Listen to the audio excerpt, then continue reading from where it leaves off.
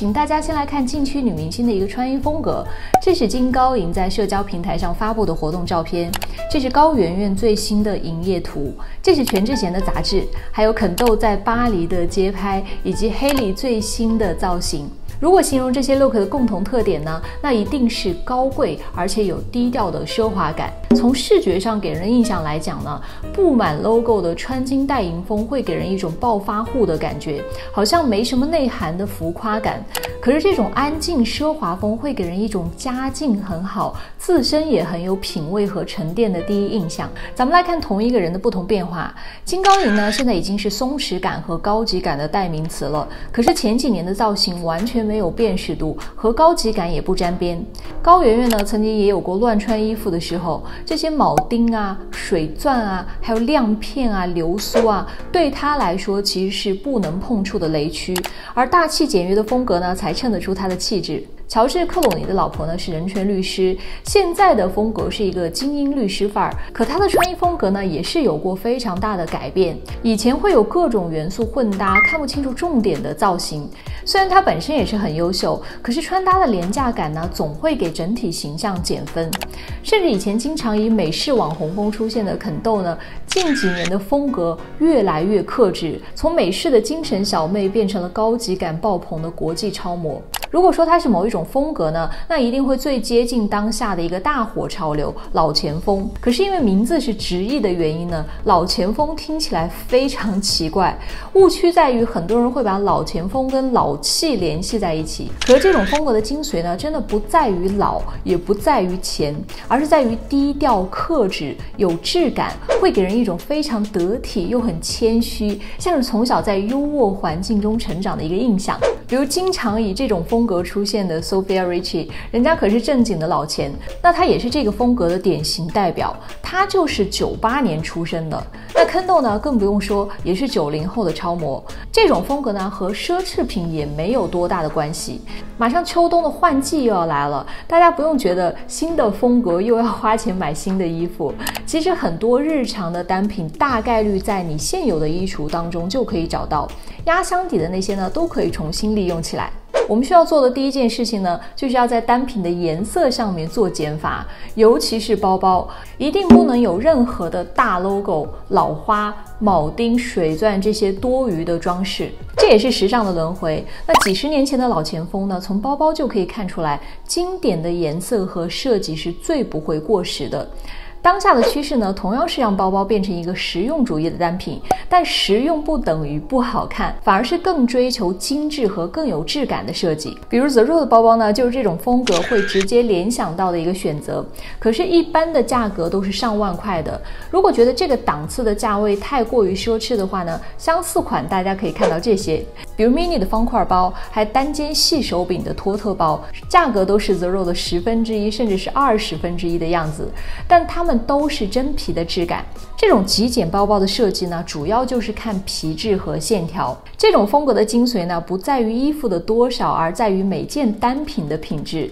今年各大品牌的新款当中，有像这样纯色的针织毛衣，这种轻薄的细密针织也是入秋之后大家可以参考的款式。精细的羊毛或者羊绒穿在身上会非常的温柔亲肤，比如像这样搭配同色系的阔腿裤，上衣的下摆呢可以轻松的塞进腰线里面，再用简约款式的腰带来强调腰线，这些搭配都会给人一种经典老钱的印象。这种羊绒或者精细羊毛的价格呢差距很大，但平价日常的品牌中呢同样是可以找到品质不错的，比如 The Row 的这件呢可以在 COS 找到一个高度相似的款式，Polo 领口。经典黑色的细针织，那像这种小圆领的套头设计呢，在优衣库就可以找到美丽奴羊毛的面料，还有单色羊绒的面料，都是性价比非常高的相似替代品。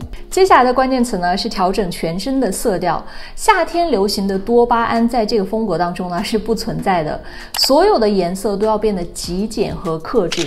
比如郑秀晶呢，现在是 Ralph Lauren 代言人，她就是可以把老前锋穿出非常时髦清爽的味道，在她身。上多数单品都是中性色。Ralph Lauren 这个品牌呢，来自于美式自由的休闲风，但它又有英式贵族的元素，所以非常的经典优雅。包括颜色呢，也是传统的海军蓝、经典优雅的黑色和干净的白色，这些些中性风格、经典色系都是更显高贵和质感的。再比如，我会经常参考的 Kendall 的风格，它以前也有过五颜六色的时期，当然也很好看、很时髦。但现在的色调呢，就更加的克制，而且对比以前，现在他身上的单品和颜色都会给人一种一丝不苟的工整的印象。包括鞋子呢，也是低调内敛的风格。即使选择有颜色的单品呢，颜色也需要低饱和度的清冷感，非常柔和的效果，和自己本身的肤色搭配起来呢，不会有那种很扎眼的攻击性的色彩。大家在今年秋冬选择颜色的时候呢，可以把它作为一个参考。如果一年四季每一季都有一件代表性的单品来穿出这种风格呢，按季节的顺序，春夏就是 Ralph Lauren 风格的衬衫，接下来就是有质感的西装外套。套和经典的风衣，最后过渡到 Max Mara 风格的羊绒大衣。这几类单品也是精致和经典风格的一个缩影，因为这种风格呢，会让人联想到那种三代以上才能积攒的财富，奶奶传给妈妈，再传给孙女儿。所以外套的风格，甚至是图案，也是有很多古典元素的出现，比如一些很经典的格纹图案、千鸟格的图案、细条纹的图案。像是 Celine 近几年秋冬的外套呢，就会很强调这些经典的元素。如果大家压箱底的外套当中呢，有这些风格。都可以在这个秋天拿出来搭配。在风衣的选择上呢，除了最常见的有肩章的战壕风衣款，如果你已经厌倦了这种款式呢，今年推荐参考的是轮廓上更加简约的廓形款。